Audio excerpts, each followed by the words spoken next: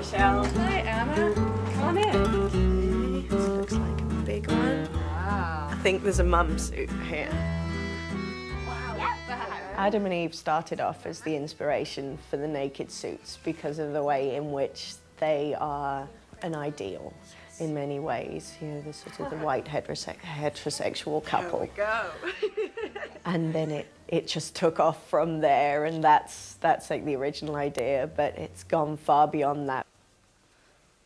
Wow. It's, it's like I had you here when I was making it. Here, put your hand in first. wow. Oh my God.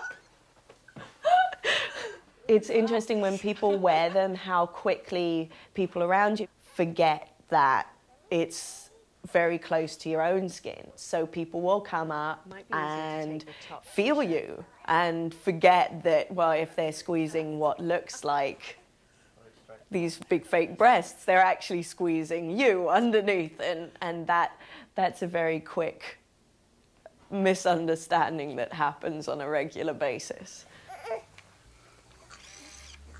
And I think at this point in time, I've photographed 15 different families wearing the suits.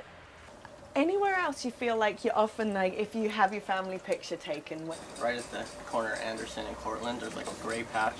Oh, I'm not going there. No.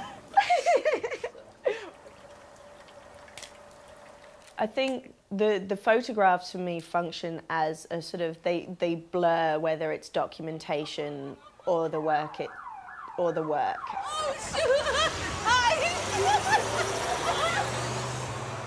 It's about being with people, it's about having a good time and doing things that can also have very serious ideas behind it rather than needing to hit people over the head with you know, like this is about, you know, nudity or about how identity and gender and all of that is accepted and this is what it's going to be. If they want to think about what it means to put on a different skin and that possibility, they can go off and think about that. But if they don't want to, they can also just have fun and laugh.